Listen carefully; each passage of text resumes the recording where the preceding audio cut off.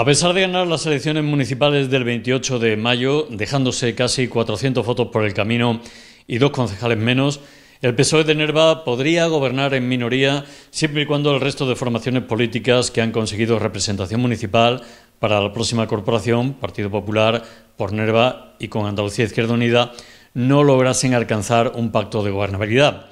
Los socialistas ya gobernaron en minoría con un idéntico número de diles en 2011 gracias a la abstención precisamente de Izquierda Unida. Además de esta hipótesis, cabe la posibilidad de otras que también podrían resolver la complicada ecuación en la que se ha convertido el escenario político nervense. También sería posible un pacto de gobernabilidad entre PSOE e Izquierda Unida, que sumarían siete concejales, los necesarios para la mayoría. Un concejal más sumaría a otra hipotética mayoría si la suma saldría de PSOE y por Nerva. Idéntico número de 10 saldría de la unión entre PSOE y PP. Y por último, en caso de que se pusieran de acuerdo las tres fuerzas políticas al margen del PSOE, también daría para gobernar un tripartito de ocho concejales entre PP, por Nerva y con Andalucía Izquierda Unida. Los socialistas no sacaban un resultado tan desfavorable en unos comicios locales en Nerva desde las primeras elecciones democráticas de 1979, hace 44 años, donde ni tan siquiera lograron alcanzar los 800 votos. El Partido Popular pierde 141 votos y un concejal respecto a los resultados obtenidos hace cuatro años en los mismos comicios, e Izquierda Unida mantiene los dos concejales que tenía a pesar de dejarse por el camino 80 votos. De las tres formaciones políticas de carácter independiente, la que ha obtenido mejores resultados ha sido por Nerva, con 618 votos, que le permitirá entrar en la corporación municipal con tres concejales. Ahora Independientes, con 156 votos, se ha quedado a 24 papeletas de cruzar el umbral del Ayuntamiento de Nerva, concejal que le hubiera arrebatado al PSOE, y 130 votos para por Huelva. Con los candidatos de cada una de estas formaciones, a excepción del Partido Popular, que ha declinado amablemente la invitación ofrecida por la redacción de Onda Minera, hemos hablado para hacer una valoración de los resultados obtenidos el 28M. Bueno, pues la valoración por parte de nuestro partido no puede ser otra que positiva, ¿no? Sabíamos que eran unas elecciones muy complicadas y aún así la gente ha seguido apostando por, el Partido Socialista y nos ha dado la lista más votada, por lo cual estamos muy satisfechos eh, en ese sentido. No obstante, pierden ustedes dos concejales y casi 400 votos. Estamos hablando de unos resultados muy similares a los de hace 40 años. ¿eh? Sí, bueno, es cierto que es que sabíamos que si nada más que había 104 candidatos, nada más que en familias y, en, y demás, pues que el voto iba a estar muy disperso y al crearse tres partidos independientes nuevos, sabíamos que de uno y de otro se tenían que ir perdiendo esos votos y así ha sido. Pero aún así ya te digo que nosotros lo valoramos muy positivo porque con el panorama como estaba seguimos siendo la fuerza más votada. ¿Ustedes esperaban esto? ¿Se esperaban que, el voto hubiera estado tan disperso con seis formaciones políticas? ¿Era más o menos lo que estaba en la mente de todos? Hombre, nosotros, pues como todos, entiendo que hemos trabajado ¿no? para sacar la mayoría y para ganar. Y así lo hemos hecho. Es cierto que, todo el mundo tenemos los pies en la tierra y que sabíamos que estos episodios se podían dar. Es verdad que nosotros lo hemos dicho en las entrevistas anteriores que nos ha realizado y todo, que no nos habíamos parado a analizar esto porque el resultado ha sido este, pero es que había tantos escenarios que nosotros simplemente nos, nos habíamos centrado en el trabajo de ganar y bueno, ahora con el escenario que se presenta, pues entonces ahora es cuando tendremos que estudiar las diferentes vías y opciones que hay. Y el escenario que se presenta es muy amplio, también el abanico es muy amplio, con diferentes hipótesis encima de la mesa. La primera, gobernar ustedes en minoría, que ya lo hicieron en 2011, que no sé si les apetecería, ya teniendo en contra la Diputación y la Junta de Andalucía en manos del Partido Popular. Esa primera hipótesis encima de la mesa, ¿cómo la ve? Bueno, la verdad es que nosotros todavía, es cierto que las elecciones terminaron anoche, tampoco hemos hecho mucha valoración todavía, ni nos hemos puesto a estudiar hipótesis y, posibles vías ¿no? de solución. Hay cosas que sí tenemos más claras, otras cosas que no, pero porque lo hemos ido hablando a nivel mm, un poco más personal y opiniones que cada uno tenemos.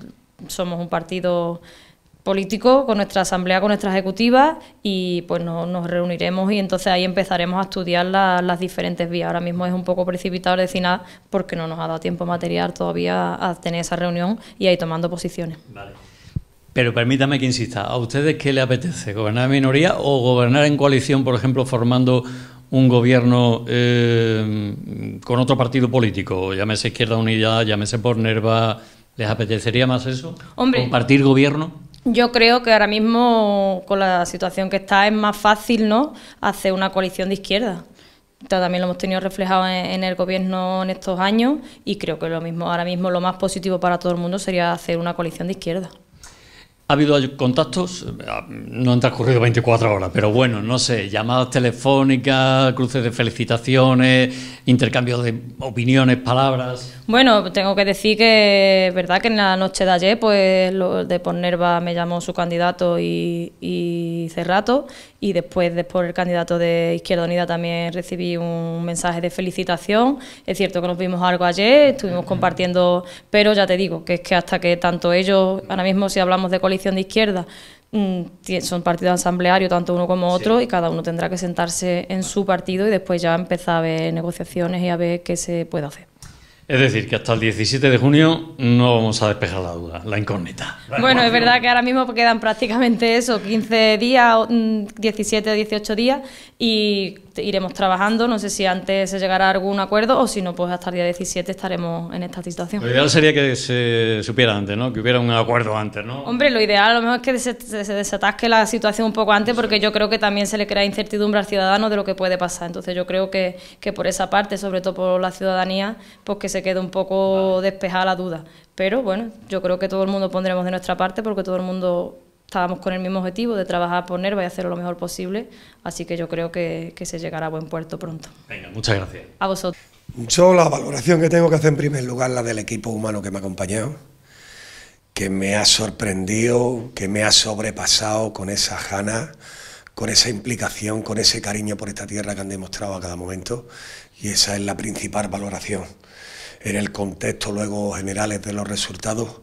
Nosotros es verdad que desde dentro de nuestra humildad de una agrupación de lectores, algo novedoso que jamás se había presentado en Nerva y teniendo en cuenta que únicamente teníamos el bagaje de 90 días de trabajo, pues a pesar de eso esperábamos tener algo más que creo que hubiera sido muy posible porque lo parpábamos en la gente de Nerva, ¿no? Y creo que la irrupción de los dos últimos partidos de corte independiente, evidentemente, vamos, han propiciado el resultado final de Nerva más que los votos que luego han ido recayendo sobre una de cada una de las formaciones que hemos tenido resultados. Estamos hablando en unos resultados tan apretados que la verdad, tirar 300 votos a la basura es algo que Nerva no se podía permitir en estas circunstancias y que la mayoría de los nervenses sabíamos que podía pasar. Ha acabado sucediendo. Tres concejales venimos de cero. Le hemos quitado dos al Partido Socialista, un partido hegemónico siempre en Nerva, le hemos quitado uno al PP que viene arrasando en toda España. Bueno, pues yo creo que la lectura es positiva que mm, desde luego nosotros concurríamos a estas elecciones sabiendo que lo que votan son los ciudadanos y aceptando en todo momento el lugar que los ciudadanos nos, demandasen. Donde estemos vamos a trabajar con el único objetivo de que gane esa palabra de cinco letras que queremos tanto que es NERVA, está clarísimo. ¿Cómo ve el panorama? Porque el escenario más abierto, eh, imposible, ¿no? Vamos, se veía venir que nadie iba a obtener mayoría absoluta con seis formaciones políticas pero no sé, hay diferentes hipótesis encima de la mesa, gobierno en minoría, gobierno en coalición en lista más votada con ustedes o con Izquierda Unida, pacto tripartito al margen del PSOE, no sé. Yo creo que ahora mismo aventurarse en todo eso, Juan Antonio, es muy complicado. Ha pasado demasiado poco tiempo de las elecciones, entiendo que cada uno lo que corresponde primero es madurar internamente en su grupo pues los resultados, el abanico es complicado de posibilidades y es cierto que todas las opciones que se dan son preocupantes, sobre todo que es lo que nos debería preocupar más para el pueblo. Entonces yo creo que lo principal es que tengamos todos encima de la mesa eh, cómo Nerva puede salir mejor de este atolladero, de este enredo que han propiciado las elecciones. Estoy seguro de que todos los responsables de los distintos partidos así actuaremos. Yo sí quiero dejar claro desde primera hora, lógicamente, que aunque nosotros mañana haremos la reunión de valoración, porque la verdad que nosotros los, los medios con los que contamos son los humanos que tenemos y yo he preferido que la gente descanse y repose, pero sí es cierto que nosotros partimos de la base de una oposición frontal a lo que se estaba haciendo en Nerva y luego esa es nuestra, esa es nuestra línea de salida. ¿Cómo está la gente? ¿Cómo está su gente? ¿Qué, se comentaba ayer? No sé si estaban un poco decepcionados al esperar algo más. Bueno, pues una mezcla de, sensaciones. lógicamente el recuento hubo un momento en que daba 4-4-3, que nos estaba prácticamente a la par ahí, ¿no? Disputando, luego hemos estado a un puñado de votos del PP, ¿no? Que te digo, como viene arrasando en toda España, pues ha sido algo muy meritorio. Y bueno, yo creo que sobre todo luego nos reconfortamos unos a otros, nos vimos, nos miramos a la cara ninguno tenemos nada que escondernos y vimos el brillante trabajo que habíamos hecho en tres meses, cómo hemos logrado cautivar a gran parte del electorado de Nerva que depositó en nosotros en su confianza. Y sobre eso vamos a edificar las próximas actuaciones de futuro. Desde luego, por Nerva no era un proyecto para tres meses, además queremos diferenciar mucho esa línea de actuar de algunos políticos que entienden que el fin de, la, de su trabajo termina el día de las elecciones, nosotros queremos que empiece ahora. Y con el grandísimo grupo humano que tenemos detrás estamos seguros de que desde luego vamos a poner toda la carne en el asado para que Nerva tenga el cambio no solo que se merece, sino que además tenga la implicación continua que merece también. Bueno, ha comentado usted que no han pasado apenas ni 24 horas y que lo tiene que valorar también con su gente.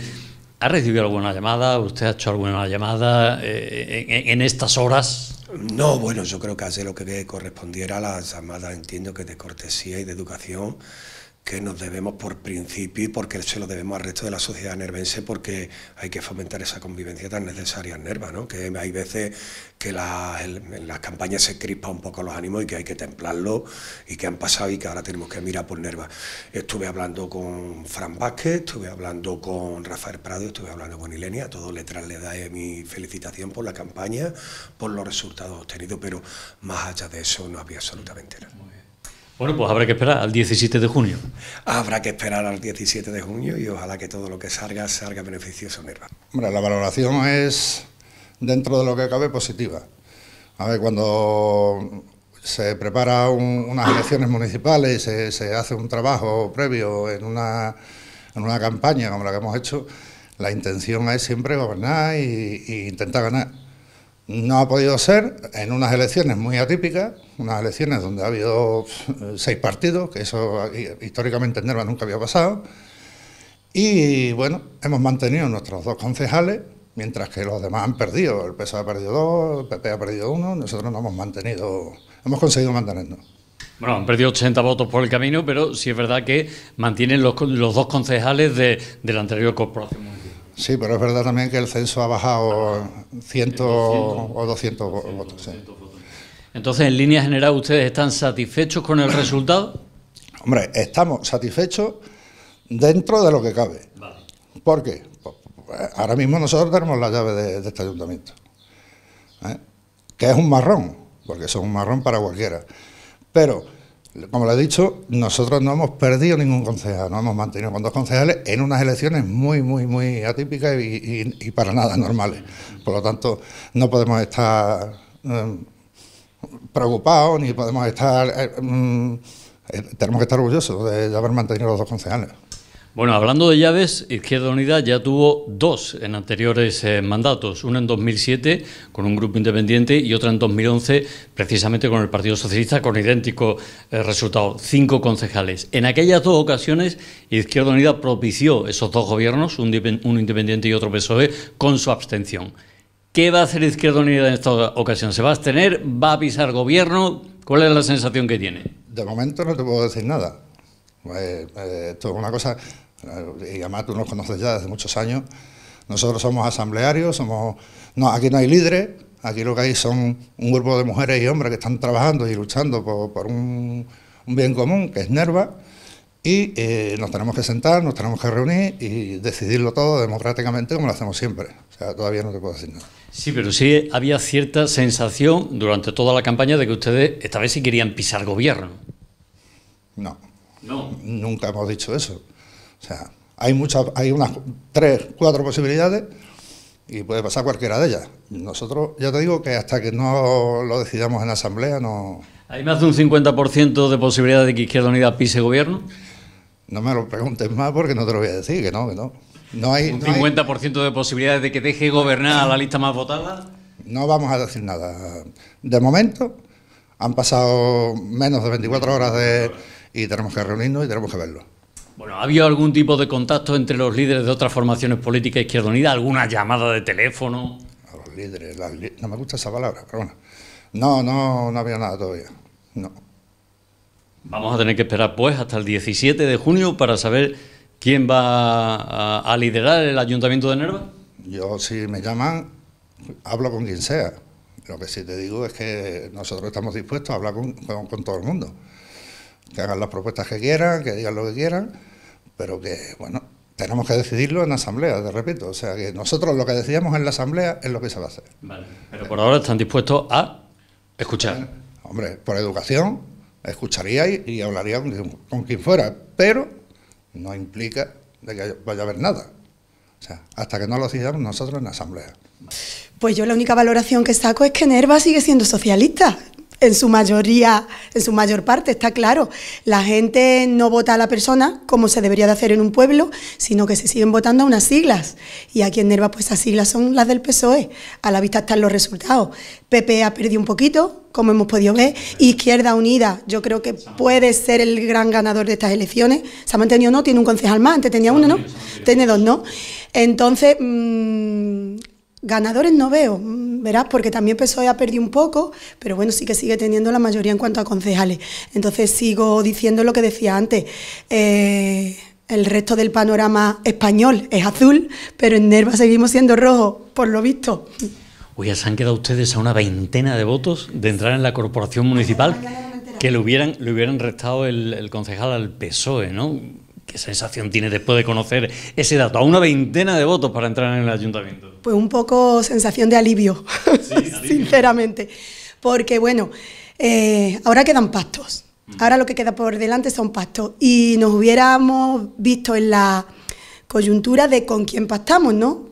Porque lo que queremos es un bien para el pueblo. Por lo menos ahora Independiente quería un bien para el pueblo.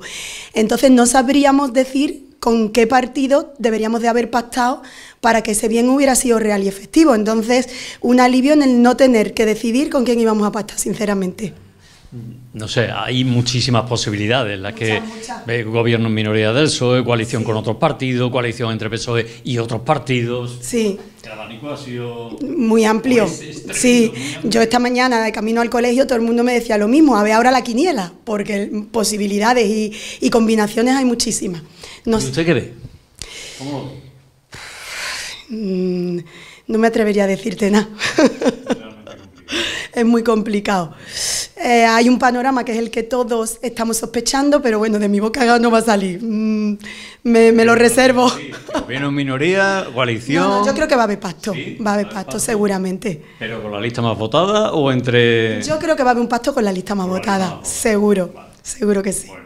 hay pocas quinielas, una de dos PSOE Izquierda Unido, PSOE por Nerva. Claro, yo espero equivocarme porque vuelvo a decir lo que dije en la, última entrevista. Nerva necesita un cambio y los nervenses tienen que darse cuenta que ese cambio no tiene por qué ser malo, que todos los cambios son buenos. Y espero que, bueno, que no sea con la lista más votada solamente en ese sentido, que la gente pueda comprobar que de vez en cuando los cambios vienen bien. Pero creo que me voy a equivocar y, bueno, que me voy a equivocar, no, no me voy a equivocar y va a ser con la lista más votada seguramente. ¿Vuelve usted a la abogacía? Bueno, vuelve no, nunca la ha dejado, nunca ha dejado la abogacía, pero esto es un, no sé, paréntesis amplio de cuatro años, ya que ha pisado usted el mundo de la política, ¿le apetecería seguir? No sé. Anoche te dije que no mm. y hoy te sigo diciendo que no, sinceramente. Ya eso de quedarme a 24, mira, me hace decir, bueno, no sé yo dentro de cuatro años. Sí que es verdad que todo depende de lo que pase en estos cuatro años.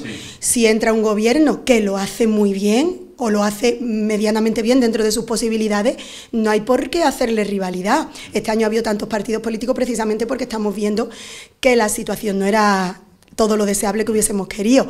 Entonces todo depende de cómo transcurra estos cuatro años. De momento te diría que no. Bueno, la valoración, estamos analizando los datos y bueno, no esperábamos mucha más aceptación por parte del pueblo, pero bueno, la democracia es así y hay que aceptar los resultados como vienen.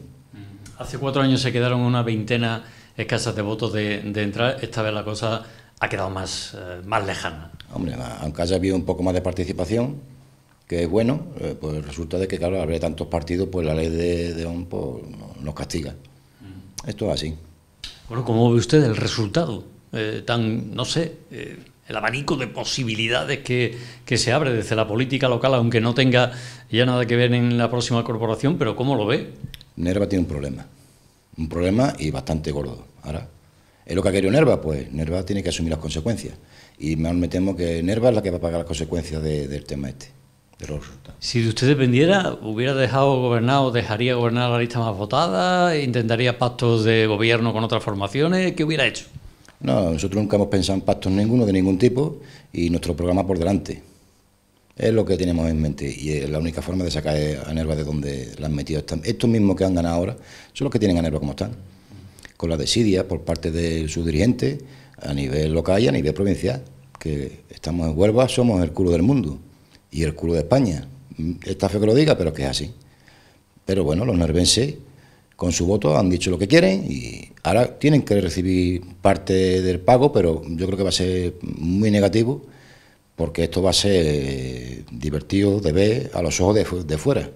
Para los que nos interesa Nerva y nos preocupa por Nerva, no nos va a gustar el, carnaval que vamos a ver a partir de estos días, hasta el 17. Oiga, para terminar, usted ha sido el político más veterano en presentarse en estos, en estos comicios, viene de una trayectoria muy amplia, además en diferentes partidos, aunque el suyo de siempre haya sido el Partido Popular. ¿Usted ha pensado ya en retirarse del mundo de la política? ¿Cómo lo ve? Hombre, yo demuestro que soy cabezón. Por cabezón es que me gane. Así que yo eso ya lo digo todo. O sea que le podríamos ver eh, dentro de cuatro años también. Pues puede ser. Si vivo para entonces, pues entonces pues sí me verá. La próxima corporación municipal estará formada por los siguientes concejales: Ilenia Rodríguez Ruciero, Sonia Granado Silva, Manuel Matías Cornejo Castro, Clotilde Vázquez Casanova y Helio Manuel García López por parte del PSOE. Rafael Prado Pérez, Isabel Lobo Díaz y Francisco Javier Granado Navarro por el PP. José Luis Lozano Álvarez, María Elvira Ortiz Moreno y Juan Carlos Domínguez Zarrato por Nerva. Y Francisco José Vázquez Domínguez y Carmen Contreras Castellano por Izquierda Unida. No obstante, la ciudadanía de Nerva aún tendrá que esperar al próximo sábado 17 de junio para conocer quién presidirá el Ayuntamiento de Nerva.